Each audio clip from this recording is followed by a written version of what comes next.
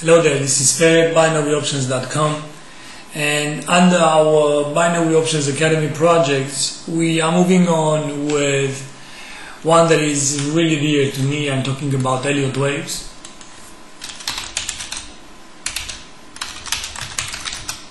And under the Elliott waves principle, I would like to discuss here something that is really important in understanding how to trade the binary option and in understanding how a, how a move uh, really is. It is a corrective one or it is an impulsive one.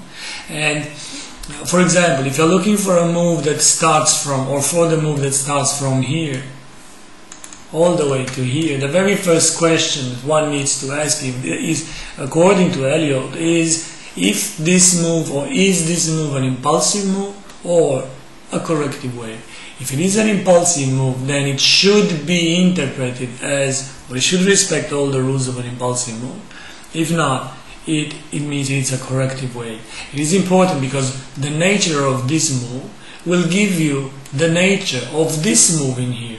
And based on the fact if it is impulsive or corrective, you know what kind of a retracement should come, you know what kind of a uh, correction should come, if it is a simple one, if it is a complex one. So uh, knowing this is extremely, extremely important. Let me put, let me write correctly here the Elliott.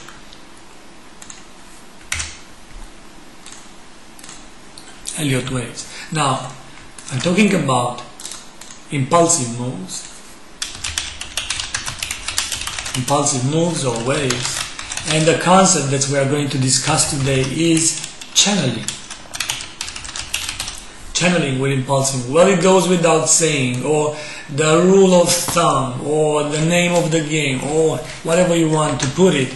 An impulsive move is not channeling. As simple as that. An impulsive move, let me put it in here, is not channeling.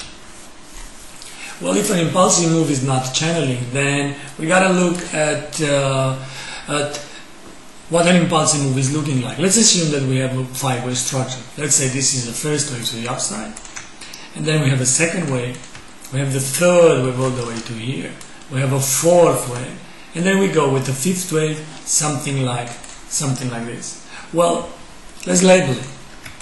This will be the first wave, and first wave in a classical impulsive move or in an impulsive move is always an impulsive move on its own, of a lower degree. Then we go with the second wave. Then we go with the third wave. Then we go with the fourth wave.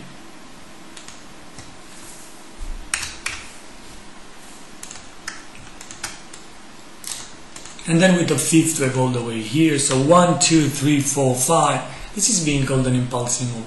What does it mean that an impulsive move is not channeling? The thing to do is to go and take a trend line from the beginning of the move until the end of the second wave. Now careful here, because this trend line here needs to be, attention, needs to be a trend line that connects the end of the second wave. So you gotta know the end of the second wave, where it is it does it is not mandatory for the end of the second wave to be um, at the lower part of the second wave. It may be that the second wave ends with a triangle and then it will be a bit higher.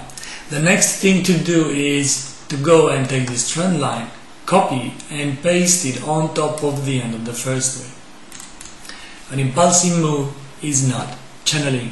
In other words, the fifth wave should end nowhere nowhere around this. If you have a move something like this, something like this, that is no impulsive move. Make no mistake. If it's not, it is not an impulsive move, then it must be a corrective wave because you don't have like 100 choices when it comes to Elliott waves. A move that is not an impulsive move that is not channeling needs to look exactly like this. Why is this important? Well, it is important because if you have an impulsive move, a five-way structure that respects all the rules, then we know that it needs to be followed by a three ways correction A and B and C.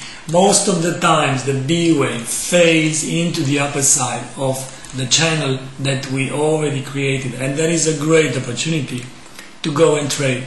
Put options if the impulsive move is bullish or call options if the impulsive move is bearish.